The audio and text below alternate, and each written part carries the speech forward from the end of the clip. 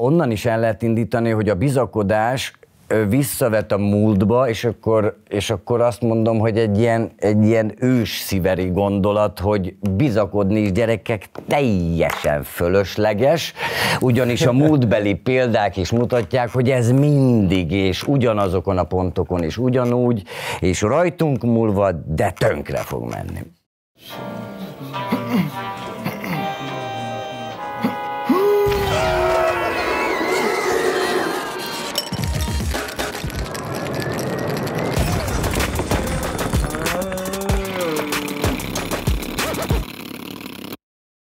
Ide.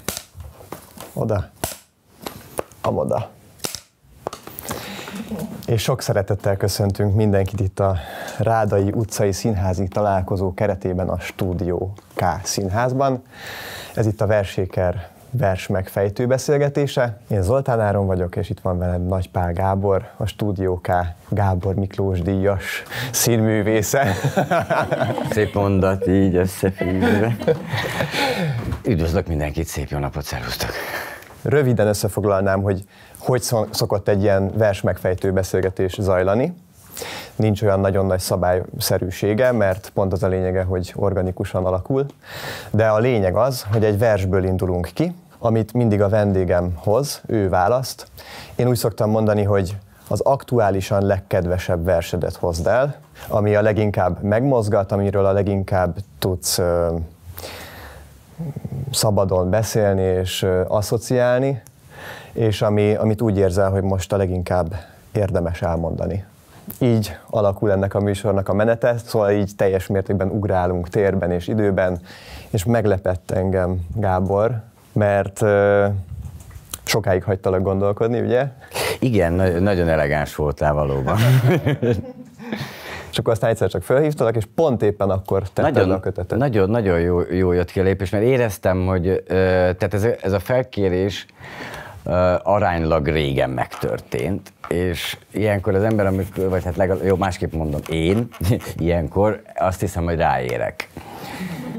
És természetesen, hogy ne, szívesen boldogan, és hát idő, mint a tenger, nyilván minden rendben, november sokával. És hogy közben az ember ezt így forgatja az agyába, a szájába, mint a forró krumplit, hogy ezzel majd valamit kezdeni kell. És közben, hogy éreztem, hogy az nyilván Áron is akar készülni szerencsétlen, az előbb-utóbb kéne valamit mondanom, mert az, az, hogy vers, azért még szűkítsük. Egy picit legalább. És az viszont már nem olyan nagyon régen történt, talán, talán egy két hete, amikor, amikor belém ütött, hogy mondom, szerintem most jött el az a pillanat, hogy csak a neveltetése tartja vissza az Áront, hogy nem hív fel, hogy most már tényleg mondjam meg, és én addigra már leszűkítettem kettőre, és na mondom, még, még egy utolsó, utolsó ö, kör a könyvespolc felé, levettem az egyik költőt, és levettem a másik költőt, még egyszer átfuttattam a, az addigra már valamennyire lepárolt izét, és akkor azt mondtam, hogy jó, akkor sziveri és nincs bennem ezotéria hajlam, de tényleg csörgött a telefon, és így Áron, na mondom, tuti, az ő szevasz, izé kezdi nagyon kedvesen, pedig tudom, hogy mit akar, és hogy, hogy most már tényleg, és mondom, hogy figyelj, nem hiszed de, de tényleg, megvan a vers, és akkor ez, tehát, hogy, hogy így valahogy nagyon finoman és hosszan vártunk egymásra, és így, így ha lehet ilyet képzavarral írni, hogy fölragyogott a szeme a telefonba, hogy hogy az, az, az, nagyon jó, hogy a sziveri az neki nagyon jó, és hogy nagyon szeret. És akkor innen, innentől kezdve meg úgy valahogy úgy egy platformon vagyunk elvileg, vagy, vagy nem, nem tudom, hogy. Elmondom az én, én oldalamat is. Hát ugye ez már körülbelül, hú, már egy éve körül körvonalazódott, hogy te, te leszel a következő vendég. Ugye tavaly, amikor itt voltunk Tóth Réka Ágnessel, és Melcsivel és Lajossal beszélgettünk, és, és akkor utána itt a büfében még egy kicsit itt maradtunk, és beszélgettünk tovább, és akkor ugye elhatároztam, hogy na, akkor a következőre téged foglak felkérni.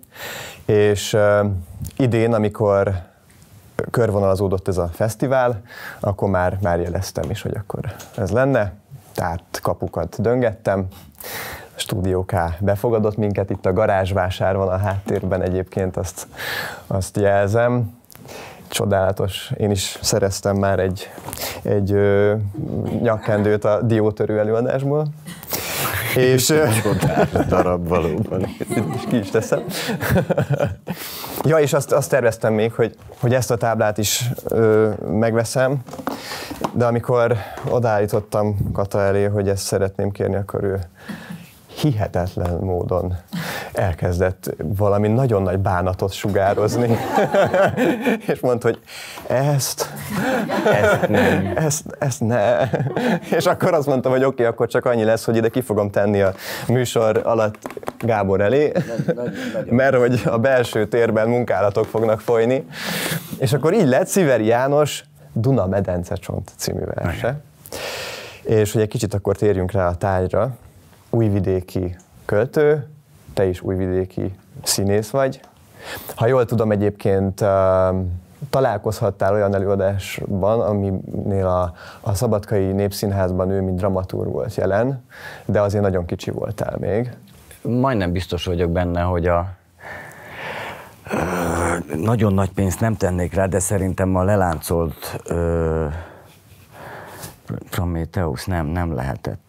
Nem de lehetett. Ö, én azt, tehát ő akkor már nem élt, amikor én ezt az előadást láttam, az 91, még középiskolás koromban, de egyébként akár még lehetett neki dramaturgia, nem tudom. Tehát, hogy nagyon-nagyon pici átfedésben lehettünk volna, de, de az tény, hogy az én nem tudom, valamiféle tinédzserkori eszmélésem, az, az tulajdonképpen az ő halála mm. után környékén kezdődik, hogyha a 15 évet azt valami ilyen, vagy a középiskolás korszakot, vagy nekem az én életemben az amatőr színházzal való foglalkozás kb. ekkor, ekkor kezdődik. Ott és, már elkezdődött? Igen, nekem akkor a kezdődött. színház? Ö, nem, az, a, a Tanya Színház a az később jön, ez, ez még az Entai Színtársulat. Aha. Egy ö, tulajdonképpen amatőr színjátszócsoport, de, de nagyon, nagyon erős Ö, nem, nem tudom, hát egy ilyen gravitációs erővel bíró ö, ö, csoport volt Zentán, és akkor ott, ott kezdtem, és ez, ez a 90-es évek legis legeleje. És mennyire volt ö, érezhető a szíve, szíveri költészetnek a jelenléte ezekben a körökben, hogy mennyire utaltak rá például mondjuk idősebb kollégák, színészek, színházban, rendező, vagy bárki, hogy Hát abba, úgy mondanám, hogy abba, központi abba a közegbe, ahol, ahol én mozogtam, és akikkel én találkoztam, akár színház csinálókkal, vagy írókkal, költőkkel, bármikkel, és ö, ö, náluk ő meghatározó volt. Tehát, tehát nyilván ö, úgymond kaptam ezt a példát, mint hogy nem, nem tudom, ez, ez én életemben így van, de szerintem talán sok többen vagyunk így azzal, hogy ez ilyen 15 és 18 között az, az, az a három-négy év, az valahogy utólag nézve az rengeteg. Tehát, hogy hm. olyankor olyan, olyan sok inger, élmény, bármi éri az embert, az, szerintem az életünknek egy jelentős részét aztán erre bazírozva használjuk, vagy, vagy töltjük, uh-huh. tehát hogy erre, és én, tehát én, én Sziverivel már ott valahol találkozok, és ö, ö, aztán 93-ban még megoldogult Sót is Lajos rendezte a, a Csantavéri Passiót, ami a, ami a Tanyaszínháznak az előadása volt, ami tulajdonképpen ö, Bibliából, Kafkából és Sziveriből rakódott össze egy teljes őrület, szerintem egyébként egy remek előadás volt, utólag is úgy gondolom. Tehát, hogy így valahogy aztán ez így szervesen jön, ő, ő, te Sziverivel valahogy mindig így foglalkozgattunk, aztán később előadást csináltunk bele, talán 2000-ben az Újvidéki Színházban a szelídítéseket, ami ugye Sziverinek egy ilyen drámatöredéke, amit a az előadás dramaturgiaiban, ott ül velünk szembe a gyarmatikata. Tehát valahogy úgy időről időre ő, ő, ő, nekem úgy visszaköszön, vagy én köszönök vissza neki, nem, nem tudom. Vala, valami, valami, valami közünk van egymáshoz nyilván. Persze, és lehet arról beszélni, hogy mégis valami, valami, valami közös, közös táj szülöttei, de, de az is lehet, hogy valami közös nem tudom, közös, közös nyomor szülöttei, vagy valami, és egy nyomort most próbálom mosolyogva mondani, mert egyébként az elmúlt néhány hétben, ahogy most megint egy kicsit itt többet, többet olvastam minden mását, amit ezért valahogy Édes jó Istenem, annyira, annyira sötét közép-kelet-európa, borzasztó. Nagyon, nagyon szerethető, de hát annyi baj van. És annyira, és közben, közben meg az énemnek egyik része nagyon, nagyon úgy érzem, hogy érzi és érti, és a másik része meg, meg iszonyatosan tiltakozik, hogy nem, nem, nem létezik, hogy ennyire sötét kell, hogy legyen. Nem, tényleg nem. Szóval iszonyatos ellentmondás feszül bennem minden, minden pillanatban, ezzel a verssel is, és az, és az életművével is, hogy egyszerre tudom imádni és fölháborodni rajta. Nagyon fura. Bár ez a fölháborodás, ez későbbi. Ez amikor megismerem, akkor nem volt, akkor, akkor csak rajongás volt. És most, hogy így már megvan ez a felháborodás, így mennyire, mennyire érzed azt, hogy ő, ő a te ö, problémáiddal foglalkozik ezekben a szövegekben, hogy mennyire tudsz így azonosulni vele. Olvasgattam én is pár dolgot, és egy, egy idézetet hoztam, mert szerettem volna Zalán Tibortól valami uh-huh. gondolatot hozni, aki neki az utolsó tíz évben nagyon közeli barátja igen, volt. Igen. Hogy Sziveri nem volt politikus költő, csak érzékeny mindenre, a társadalom és közvetlen környezete valamennyi rezdülésére. És hogy ez, ez, ez a fajta érzékenység, hozzád mennyire áll közel, és hogy, hogy ebb, aztán szépen lassan rá fogunk majd, uh-huh. azt te is érzed, rá fogunk kanyarodni a versre. De hogy ebben a versben, mert hogy azért ez egy olyan választás most, ami, ami a szíveri életműből azt emeli ki, ami, ami ez a fajta érzékenység. Hát igen, én, én szerintem, tehát az ő életművébe ezt, ez, ez, ez, ez, ez, ez kikerül, kikerülhetetlen tehát még nem tudom, talán még, még a narancsversek is, amik, ami ilyen teljesen fura, fura ciklus, ilyen, vagy legalábbis nehezebben illeszthető vagy az életmű. Tehát, hogy kikerülhetetlen az a, a közélet az a, az a, az a világ, amiben teszi a mindennapjait, és folyamat, folyamatos falag, falakba ütközik, eh, ahol, ahol folyamatosan azt érzi, hogy, hogy, hogy valamiféle fenyegetettségben van, valami, eh, de közben mindig, mindig benne van, benne van egy, hogy, hogy olyan, olyan, olyan kicsi kellene, hogy ez jó legyen olyan kicsi kellene, és, és, és valahogy mégse sikerül, hogy jó legyen. Tehát de, de, ilyen, e, ez a, én ezt közép-kelet-európaiságnak hívom valami, valami szörnyű módon, és, mondom, és ha, ha a Sziveri nem lenne jó költő, akkor ez nyavajgás lenne. Uh-huh. De, de a Sziveri szerintem annyira jó költő, hogy, hogy, nem, hogy emiatt nem nyavajog, viszont nagyon megélt, nagyon, nagyon keresztül megy rajta minden, és főleg az utolsó verse, amikor már a betegséggel küzd, a kórházba küzd, és tulajdonképpen minden versét szinte visszanézésből írja, de, de akkor is valahogy kemény, kemény tud maradni, nem, nem, nem sírós, nem egyszerűen ítéletet mond akár magáról, akár a világról, a viszonyairól, és ettől, ettől, ettől nem marad puha. Nem, hogyha, de csak a puhát most úgy mondom, hogy a, hogy a nyavajgást, mint szavat, hogyha kimondom, akkor annak, annak lesz egy ilyen, egy ilyen puhasága. Uh-huh hogy olyan, olyan közép-kelet-európai nyavaj, de nem. Ő egy, ő egy közép-kelet-európai nem nyavajgós, de, de, de nagyon, nagyon, tehát valahogy nem tudom, hogy, le, hogy lehet egyenes gerincsel bántottnak lenni. Valami nagyon, nagyon, nagyon sok, nagyon sok ellentmondás van benne. Egyre több, egyre több, borzasztó, nagyon jó. Elmondod a verset? Egy életem, egy halálom, és megpróbálom. Aztán majd még erről is beszéljünk, hogy miért nem jó verset mondani. Dunamedence csont.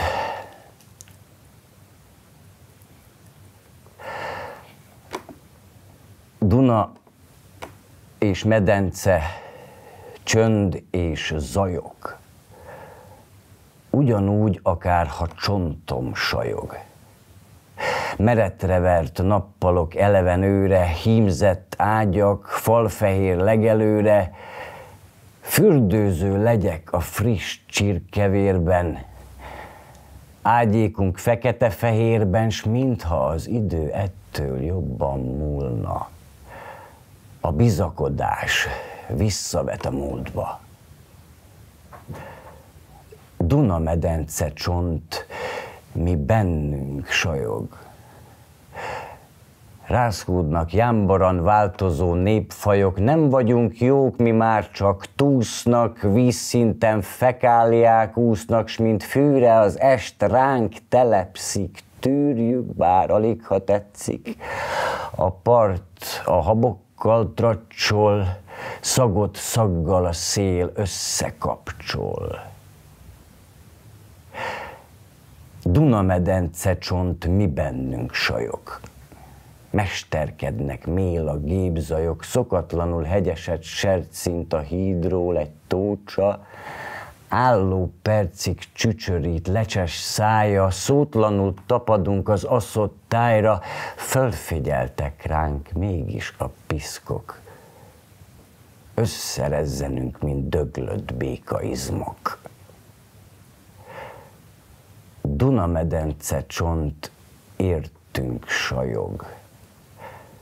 A kőparton sündörgő sóhajok ne szellengedez, csattogó sirályszárnyak mögött nyoma sincs már a nyárnak, bennünk is a rettegés gyülemlik, a hitvány, látvány, akár a verklit felhúzza idő előtt a cukrunk, csettinteni kell, és már is ugrunk.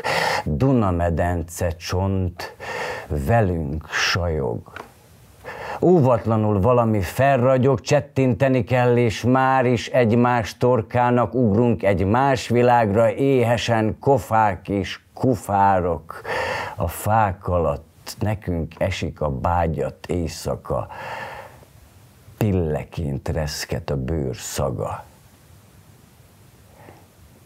Dunamedence csont miattunk sajog megkörnyékeznek ostoba bajok, s kiöklendem a benragadt Duna képet. Nekem is jobb, ha a földre lépek. Lehetek-e magammal szemben pártatlan? Mint áztatja partját ártatlan arccal a fonnyad Duna. Orozza szellemünket jeges duma. Duna és medence és csont vagyok.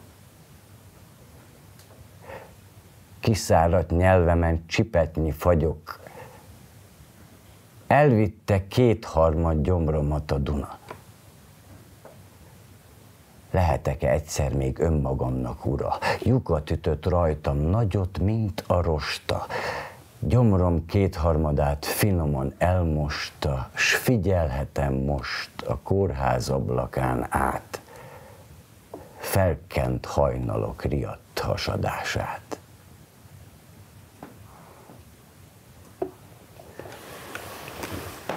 Köszönjük szépen!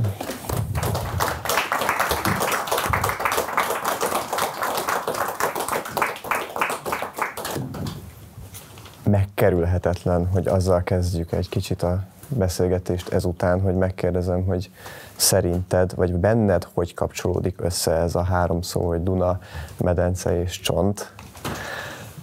Mert hogy az, hogy mert az már egy nagy kérdés, hogy, hogy miért pont medence, miért pont csont, mert a, talán a Dunát tudom még a leginkább úgy elsőkörösen értelmezni, de ahhoz, hogy de ahhoz, hogy előadó művészként ez így helyére kerüljön, azért e- ezzel munkája van az embernek, azt hiszem. Te hova jutottál? Én nekem a... Ö, tehát amikor fő, megpróbáljuk megfejteni, és már nincs, nincs lehetőségünk megkérdezni, nekem a, tehát hogy a, a, a Duna is és a medence is, tehát hogy ilyen kintről indul befelé. A, a, a Duna az, nem tudom, az, szerintem az úgy errefelé meghatározó. A medence az, az nyilván a Kárpát medence, de a Duna is, ez az egész Pannon tenger maradványa, de a medencével már bekerülünk a testbe, beviszi, beviszi, és a csonttal meg végképp oda, tehát hogy ilyen, ilyen, ilyen nagyon nagyon kintről ilyen iszonyatosan hálás vagyok az újkori technológiának, hogy most már lehet ilyet csinálni, mert én nagyon sokat álmodtam régen azt, hogy úgy, de tényleg álmodtam, az, az, az a nagyon magasból úgy megérkezni, és most egy Google Maps-en meg lehet csinálni, és akkor odaérsz a házra.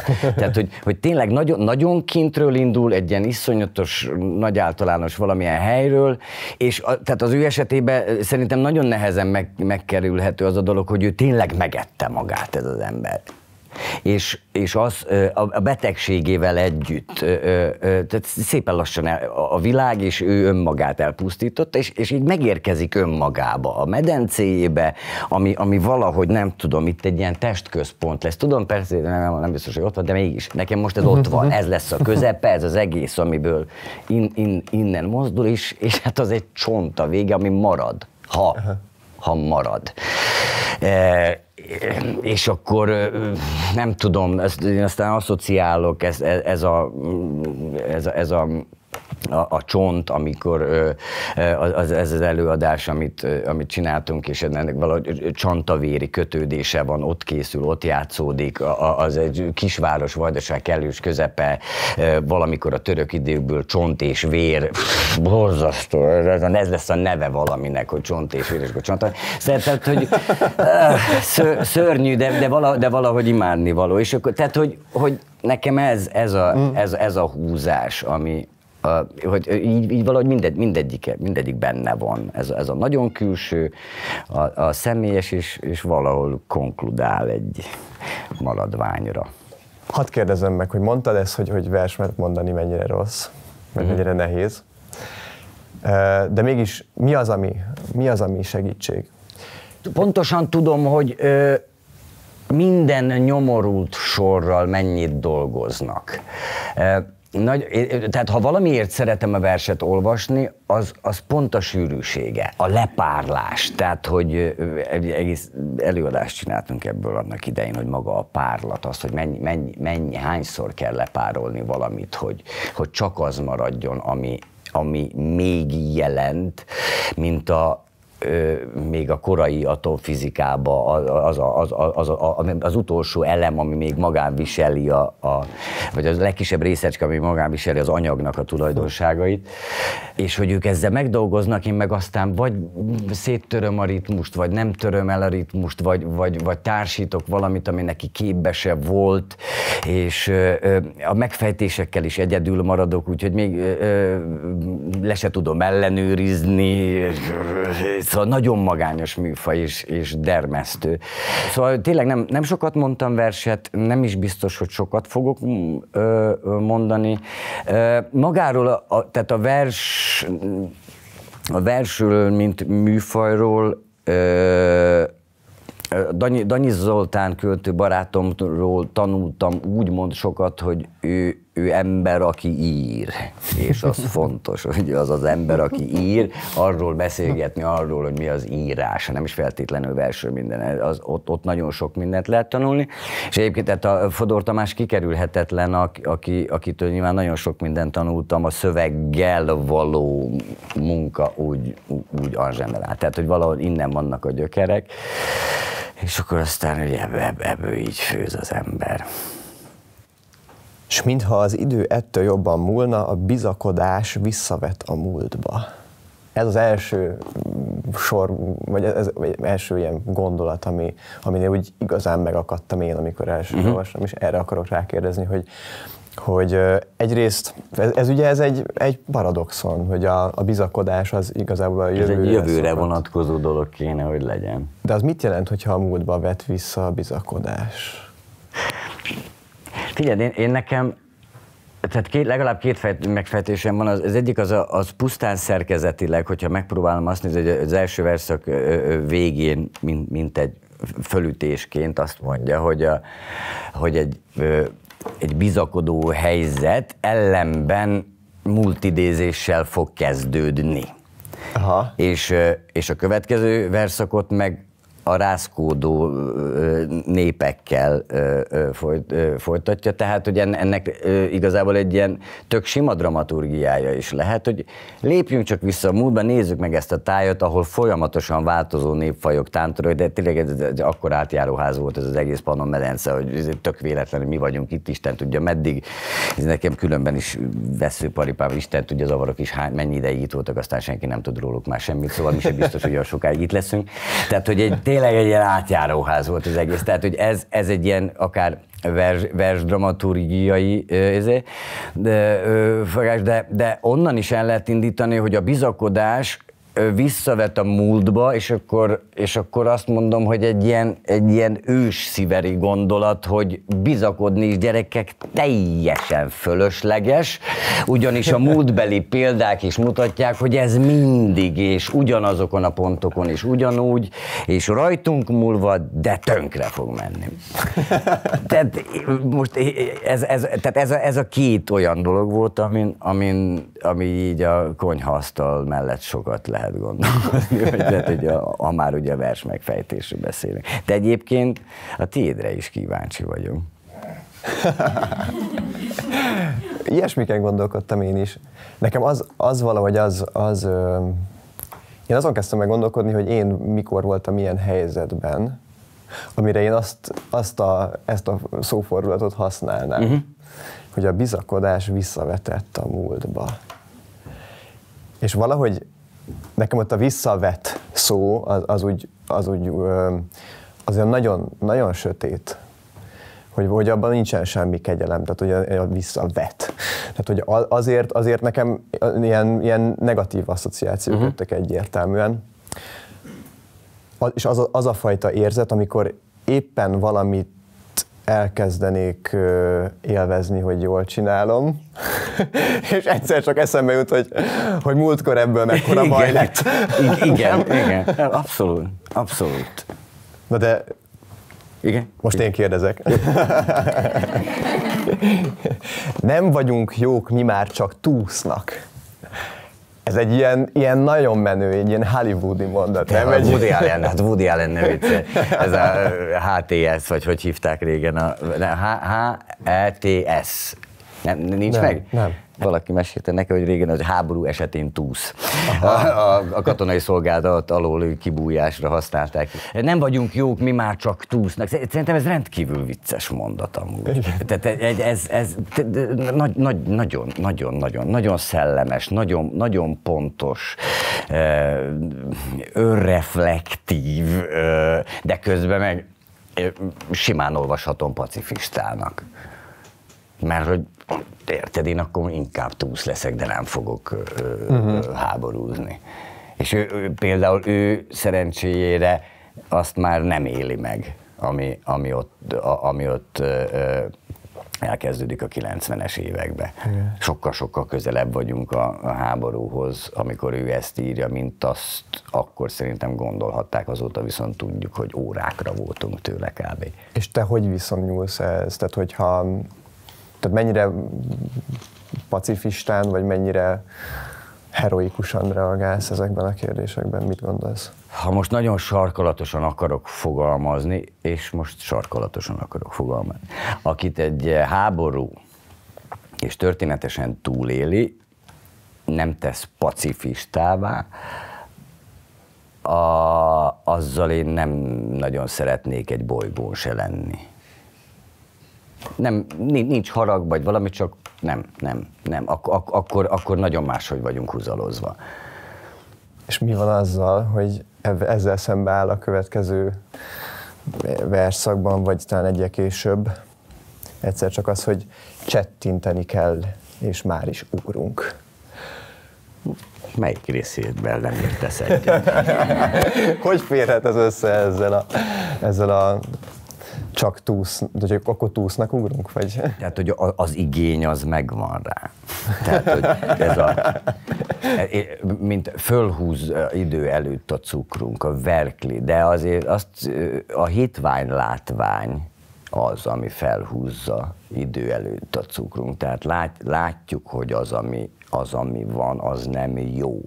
Ettől az ember elkezd egy feszültségben létezni, és amint ez a feszültség megvan, ahhoz viszont akkor már tényleg nagyon kevés kell, hogy pukkadjon. Tényleg elég egy csettintés, és aztán csak, mondjam azt, hogy csak, csak irányítani kell a, a, a, a, a frusztrációt, a fölháborodást, a vélt vagy valós sérelmet, tehát hogy mindegyik újabbkori dokumentált háborúnál ez, a, ez az anatómiájának a, a, az első fejezet, háború alapjai ellenségkép kitalál, jó főbaszni egymást, megfeszíteni, és a kellő pillanatban, mikor már neki van, akkor elvágni, és már régen elfelejtett, hogy miért csak menjenek egymásnak. Tehát, hogy ez nem, bony, ilyen szempontból ebben ebbe, ebbe nincs, nincs új, és tényleg, hogy hogyha kellőképpen föl, föl tudod spanolni a hangulatot, hogyha föl, a, a, az elégedetlenséget, a vajon ki a hibás azért, amiért nekem nem jó, és akkor már gyorsan behelyettesítjük, már irányba van állítva a, a feszültség, és aztán tényleg csak neki feszülés szerint olyan tőle, mint a szálhúzó kutyáknél, ugye, mint te elvágnál a madzagot, és, és kilőnek valahol az északi sarkig azonnal, és széttépnek, nem, nem tudom. Tehát, hogy ilyen, ilyen nekem ez a, ez, a, ez, a, ez a megfeszülés, ez a verklizés, ez a, ez a föl, fölstenkelni, fölstenkelni, föl, föl, föl, föl, föl, föl, elvág, buf, robban. Tehát, hogy ez, és ezt szerintem elég jól látja. Mm. És muszáj visszatérnem rá, mm. meg elnézést kérek, de 90-ben látja. Mm-hmm. Mm-hmm. Nagyon, nagyon fura. Nem csak ő látta nyilvánvaló, de, de azért az okosabbja látta, hogy, hogy gyerekek nagyon nagy a baj, és a tűzzel játszotok. És talán egy kicsit már, itt, itt akkor már egyel bejebb megyünk, mert ez a, ez a külső, ez a Duna, és mm. most már a, inkább már a csont fele haladunk, amikor, amikor egyszer csak elhangzik a, szerintem legbonyolultabb kép ebben a versben, vagy számomra legalábbis az, és biztos vagyok benne, hogy most első hallatra nem igazán maradt meg senkinek, mert szerintem annyira bonyolult, hogy esik a bágyat, nekünk esik nekünk a bágyat éjszaka, pilleként reszket a bőr szaga. Ezt egy kicsit, te kicsit tudnál nekem kibontani, hogy, hogy itt mi történik, és hogy ez, és ez miért árnyalja ezt, a, ezt az egész csettintés és egymásnak, egymás torkának ugrást? A végéről ö, közelítek, talán, talán azért, mert egy, egyszerűbbnek tűnik, tehát hogy a, a bentről. Mert szerintem ez a, a pilleként reszket a bőrszaga, az én olvasatomban itt, itt már igazából már a második, már a második versszak lóg előre.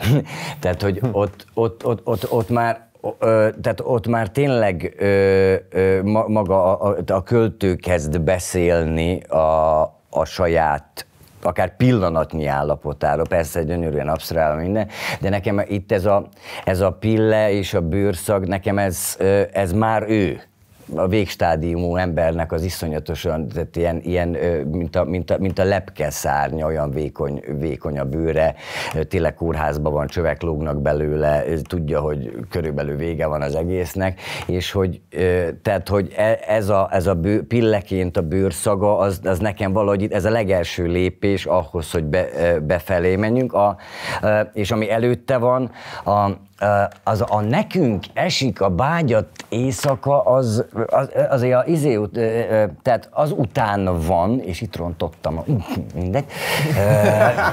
igen, mert ez meg, meg, kerékbe törtem megint a költőt, bocsássa meg, mert nagyon iszonyatosan jó ritmusa van, és azért szerintem tehát Sziveri kifejezetten az a költő, akinél, akinél a ritmus az rettenetesen fontos.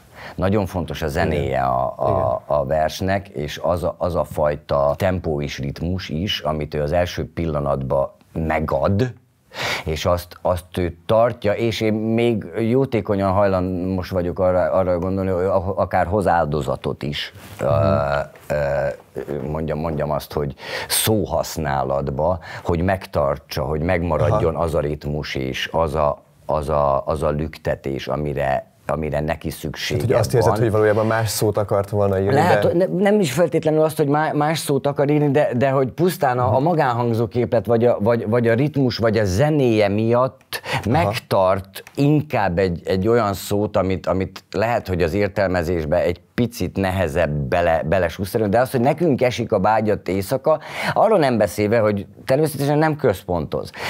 De azt mondja, te egy más világra éhesen csörtetünk, eddig jó. Kofák és kufák, sehol semmi vesző. Kofák és kufárok a fák alatt nekünk esik a bágyat éjszaka pillekén nagyon sok helyen lehet a vesző. A kofák és kufárok, akik vagyunk, az rendben van. De hogy a fák alatt vagyunk mi, a kofák és kufárok a fák alatt vesző. Vagy kofák és kufárok, vesző a fák alatt nekünk esik a bágyat éjszaka. Egyébként ez, ez, ez két, háromnapos felfedezés. A, ez a, a, a, a fák alatt, hogy próbáljuk máshova tenni. De közben a nekünk esik a bágyat éjszaka, az, az meg nem tudom, az, ennek van egy, nekem van, van egy, ebben van egy szexus. Mm. Hiába, hiába mondom, mert azt kell mondanom, hogy uh, jebige. Mert ezt, szer, ezt szerbül mondom, mert ez, ez a nekünk esik a bágyat éjszaka, tehát ez ilyen, uh, Azért mondom szerbül, mert szarba, szerbül ez, ez, ez, ez ilyen, ilyen bassza meg, de nem. Nem pontosan ezt jelenti, mert egyel erősebb a szexuális tart, a koitális tartalma, Aha. hogyha ez, és azzal, azzal hogy, hogy beteszi valahova ebbe az éjszakába, ennek lesz egy ilyen, nekem egy ilyen rendkívül ilyen, ilyen, tényleg ilyen, ilyen kell, kellemetlen hát valami, ilyen búcsú szex, a, ezt az egészet baszhatjuk értelembe. Most bocsánat, nem, nem, nem, nem, nem, nem, nem tudok más szó, tehát hogy természetesen, hogyha ezt így el tudnám mondani, akkor ugye leírtam volna versnek, de hát nem tudom. És akkor azért használom a Jánost. Vagy nekem val- valami, valami ilyesmi, valami ilyesmi. És te használod a Jánost, vagy megpróbálsz azonosulni vele, vagy hogy? Egyébként pont itt a legvégén, ugye, amikor a legszemélyesebb, a leginkább a, a saját egészségügyi állapotára Igen. reflektál, hogy akkor mm, milyen irányból közelíted meg?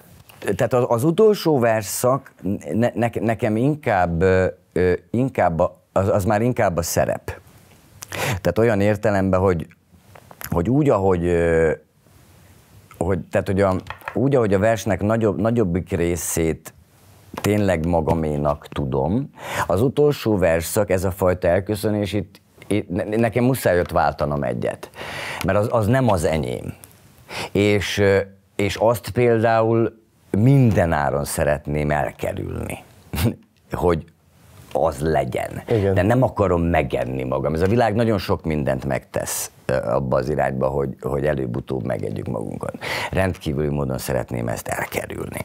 Tehát, hogy, hogy nagyon-nagy, nagyon-nagyon nem, tehát, tulajdonképpen a legna- az utolsó verszakkal volt ilyen értelemben a legnagyobb bajom, mert az annyira ő, az annyira személyes, tehát hogy azt azt gondolom, hogy azt nagyon, nagyon, azt csak azt fogja tudni igazán megérteni, aki ezen már átment és meghalt. Akivel viszont ez megtörtént, az ezt már nem fogja tudni elmondani. És ezt az utolsó verszakot muszáj eltartani szerintem ilyen értelemben, mert nem, ezt, ezt nem fogom tudni be, beengedni, és nem is akarom beengedni, mert ezt az egész közép-kelet-európaiságot én nem akarom odáig elvinni, hogy úgy kelljen járni, mint, mint Jánosnak, aki azt már valahol elmondja pannoniai vagyok, és János, hát ez jutott. Tehát, hogy, hogy én nem és mi, a, mi a menekülési útvonal, vagy mi a taktikád ennek? Nekem? Igen. Az, az én Igen. magánéleti, privát Igen. taktikám arra, hogy hogyan éljem túl ezt a Igen. századot? nem tudom, nem tudom. és, nem tudom, mert tele van, tele van egyrészt apró munkával, másrészt meg egyszerre kell csipesszel meg, meg baltával dolgozni. Rohadt nehéz. Mert tényleg néha apró munkát kell elvégezni. De mi, mi ez az apró munka? Tudsz egy példát mondani? Hogy akár szellemi vagy gyakorlati apró munka, amikor, amikor ez egyszerűen az ember, ember eljön, eljut egy olyan pontra, ez egyszerűen naponta 20 ezer van, hogy, hogy megint van egy olyan történés, egy társadalmi helyzet, egy reakció, akció, reakció, ami, amitől fölmegy a cukrom, mint a költő mondja, és, és valahogy elérni azt, hogy ne menjen fel, de ne legyek közömbös, mert nem mondhatom azt, hogy nem érdekel, mert hiszen érdekel, de, de nem lehet minden reakcióval azonnal fölmenni a, a plafonra, mert tényleg 20 perc alatt rákos leszek, és a 47. percben is halok. Tehát, hogy hogy ez, ez, ez a, a napi, napi, napi mikromanagement, hogy, hogy mikor jön ez a, az a pillanat, amikor az ember azt mondja, hogy na, azt mondta, ez, jó, jó, figyelj, vigyük le a kutyát, vigyük le a kutyát, mert azt például tudom, hogy az, az egy óra jó, levegő, kutya boldog, én boldog vagyok, ennyi. És mikromenedzseled az életet, ami egyfajta elkerülés, vagy tehát hogy ez a, ez a, ez a csipeszes munka, a, a baltás munka meg, meg tényleg az, hogy, hogy egyáltalán az, amit az ember éppen csinál, csinál nagyobb szinten, hosszabb, kell-e, kinek kell, minek kell, van-e értelme. Uh, és akkor még néhány tehát hogy, hogy valamelyik ágába bele kell levágni baltába, és azt mondani az embernek, hogy muszáj elengedni, mert, mert, mert, mert, mert egyszerűen bele fogsz pusztulni, vagy azt mondani, hogy növesszél lábat, Hú, kösz, tök igen. Megkértelek rá, hogy ha úgy adódik, akkor esetleg még egyszer mondd el nekünk ezt a verset. Bevállalod? De Csernus hozzáhitted neki. Érted, hogy feszegeted a lelkemet, Jó, viszont én uh, még egyet még kérdezek, mielőtt Jó. neki veselkedsz. És, uh,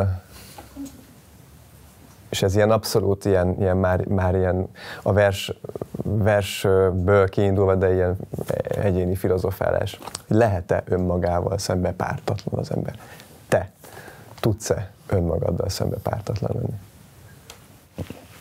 Nem. És nem, nem vagyok rá büszke, de nem. Hogy legyek objektív, én a szubjektum. Tehát szerintem nehe... Amit meg tudok tenni, és, és igyekszem megtenni, az az, hogy időről időre átülök a másik székbe, egy pici időre.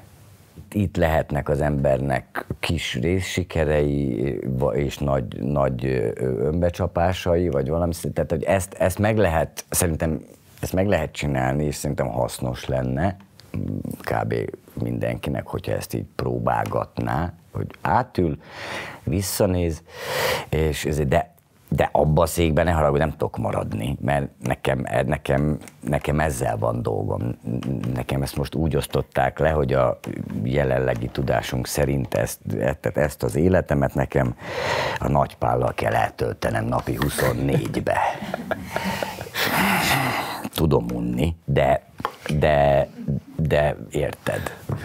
Tehát nem biztos, hogy nem tudok pártatlan lenni, hanem törekedni tudok rá, és mond, de nem, nem, nem, fog, nem, nem fog menni. Hát nekem az, az, az a dolgom, hogy ezt az embert így valahogy átlögdössem ezen az életen, különböző nagyon közeli emberek segítségével, de hát ezt a szubjektum valamit kell vele csinálni, nem, lehet ott hagyni az út szélén. Ilyen, ilyen, de hát ezt kapta. Azt hiszem kimerítő választottál. Köszönöm. Ki ismerő. Nem tudom. Menjünk neki még egyszer. Duna medence csont. Duna és medence. Csönd és zajok. Ugyanúgy, akárha csontom sajog meretre vert nappalok elevenőre, hímzett ágyak falfehér lepedőre, fürdőző legyek a friss csirkevérben, ágyékunk fekete-fehérben, s mintha az idő ettől jobban múlna, a bizakodás visszavet a múltba. Duna medence csont, mi bennünk sajog Rászkódnak jámbran változó népfajok, nem vagyunk jók, mi már csak túsznak. Vízszinten fekáliák úsznak, s mint fűre az est ránk telepszik. Tűrjük, bár alig, ha tetszik. A part a habokkal tracsol, szeget, szagot, szaggal a szél összekapcsol. Dunamedence csont mi bennünk sajok. Mesterkednek mélag gépzajok, szokatlanul hegyeset sercint a hídról egy tócsa, álló percig csücsörít lecses szája, szótlanul tapadunk az aszott tájra, felfigyeltek ránk mégis a piszkok összerándolunk, mint döglött békaizmok. Duna medence csont értünk sajog. A kőparton sündörgő sóhajok lengedez, csattogó sirályszárnyak mögött nyoma sincs már a nyárnak, és bennünk is a rettegés gyülemlik a hitvány, látvány, akár a verklit felhúzza idő előtt a cukrunk, csettinteni kell, és már is ugrunk. Dunamedence csont velünk sajog. Óvatlanul valami felragyog, csettinteni kell, és már is egymás torkának ugrunk, egy más világra éhesen csörtetünk, kofák és kufárok, a fák alatt nekünk esik a bágyat éjszaka. Pilleként reszket a bőrszaga. Duna-medence csont miattunk sajog megkörnyékeznek ostoba bajok, s kiöklendem a benragadt Dunaképet. Nekem is jobb, ha a földre lépek. Lehetek-e magammal szemben pártatlan? Mint áztatja partját ártatlan arccal a fonnyad Duna. Orozza szellemünket jeges Duma. Duna és medence és csont vagyok. Kiszáradt nyelvemen csipetnyi fagyok, elvitte kétharmad gyomromat a Duna. Lehetek egyszer még önmagamnak ura. Lyukat ütött rajtam nagyot, mint a rosta, gyomrom kétharmadát finoman elmosta, s figyelhetem most a kórház ablakán át, felkent hajnalok riadt hasadását.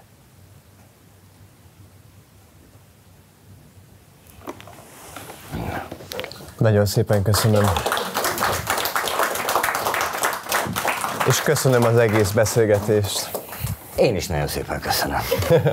Köszönjük szépen. És köszönjük a Rádai utcai színházi találkozónak, és legfőképpen a stúdiókának, hogy itt lehettünk. Köszönjük nektek, önöknek a figyelmet, a YouTube nézőknek is köszönjük a figyelmet, lájkolják a videót, nekünk nagyon sok energiánk volt benne, maguknak semmiben nem kerül egyszer megosztani, lájkolni, esetleg feliratkozni a csatornára, ezt tegyék meg, és vigyék jó hírét a színháznak, Gábornak és a versékernek is. További szép napot Mindent köszönjük szépen.